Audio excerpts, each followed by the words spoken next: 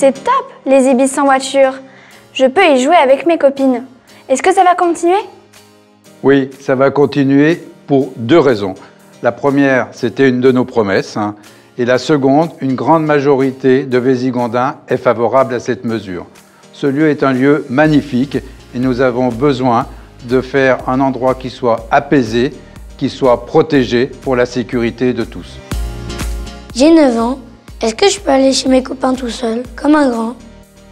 Nous voulons développer très fortement le plan vélo avec des itinéraires qui soient des itinéraires sécurisés. Bien sûr, nous faisons ça en liaison avec notre intercommunalité.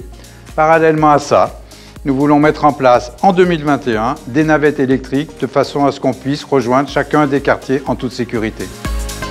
Il paraît qu'il y aura des caméras. Ils vont servir à quoi? Les caméras connectées à un centre de supervision vont servir à assurer la sécurité des biens et la sécurité des personnes.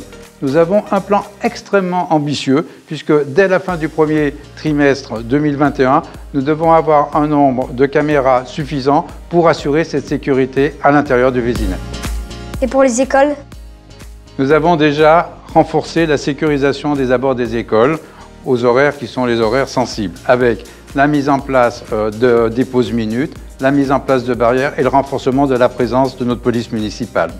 Mais nous voulons aller plus loin et à cet effet, nous sommes en train de concevoir un questionnaire qui sera destiné aux parents d'élèves, qui sera destiné au personnel enseignant et nous mettrons les résultats de toutes les réponses à ces questions sur notre site internet.